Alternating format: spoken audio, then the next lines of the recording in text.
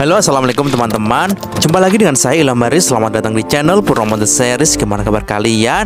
Semoga selalu sehat dan baik-baik saja ya. Kali ini kita akan meneruskan Merangkum Denghua Sising Ji Season 5 episode 25 ya guys. Dan karena animasinya belum rilis Kita gas spoilernya dulu ya. Dan gak usah berlama-lama lagi Langsung saja Gas cuy di episode sebelumnya, Sun Wukong dan teman-temannya sudah berada di kerajaan Putri Tengkorak Putih. Tapi muncul keanehan satu persatu. Penduduk yang ramai dan juga ramah tiba-tiba saja kini berubah menjadi zombie.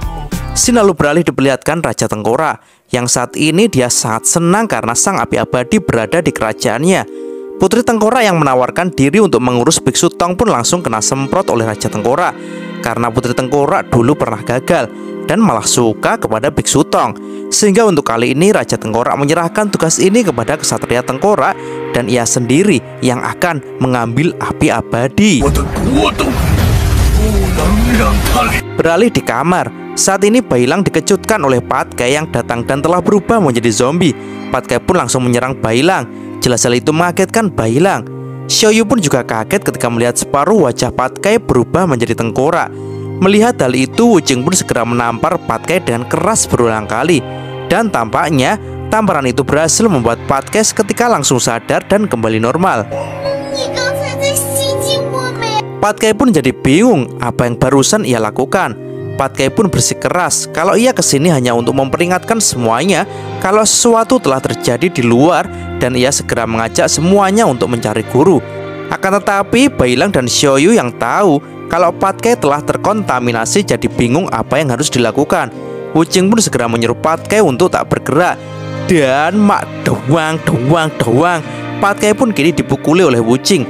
Dan Wucing lalu mengikat Patkai di situ. Patkai pun hanya bisa pasrah.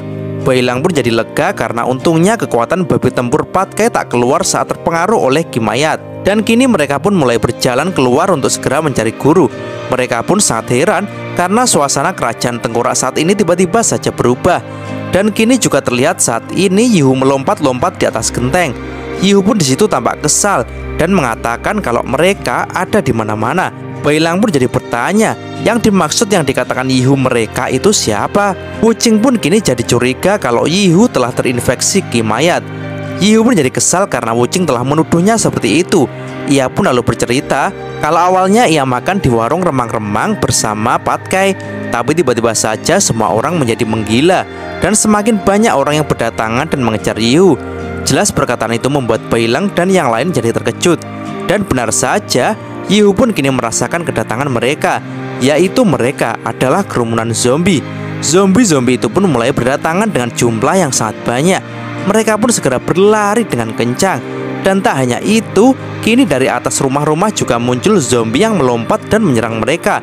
Hal itu membuat mereka pun mau tak mau harus melawan mereka. Dengan sambil berlari, mereka pun mengajar zombie-zombie yang menyerang. Wucing pun memperingatkan semuanya agar jangan sampai tergigit oleh mereka. Ia pun lalu mengeluarkan kekuatan badai pasirnya yang membuat kawanan zombie di situ mencelat ke atas.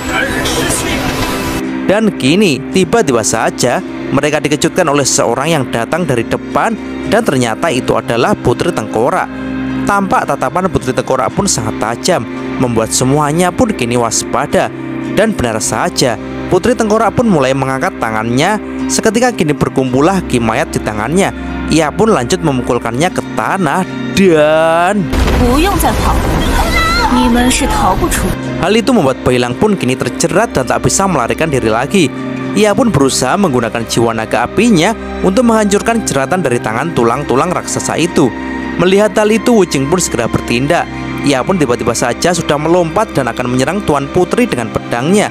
Wucing di situ menyesalkan kalau Tuan Putri berbuat seperti ini, padahal gurunya yakin kalau Tuan Putri punya hati yang baik. Dan mak terang, Tiba-tiba saja tebasan Wucing ditangkis oleh kesatria tengkorak putih yang tiba-tiba datang. Dan serak. Kesatria tengkorak putih pun lalu mengeluarkan tebasan iblis mata air kuning kepada Wucing. Tebasan itu membuat Wucing langsung terlempar. Wucing pun kini langsung merasakan tubuhnya tak bisa bergerak. Energi aneh dari pedang kesatria tengkorak telah menyegel tubuhnya, membuat Wucing tak bisa menjadi pasir seperti biasanya. Sambil memegang pedangnya, kesatria tengkorak pun menatap dengan serius. dan ia mengatakan kalau ternyata kemampuan murid Biksu Tong hanyalah seperti ini. Hal itu membuat Xiaoyu pun jadi panik karena Bailang dan Wuching telah dilumpuhkan. Xiaoyu pun kini hanya bisa mengandalkan Patkai dan Yihu untuk menjaganya. Tapi betapa kagetnya ketika ia menoleh karena saat ini Yihu dan Patkai telah menjadi zombie.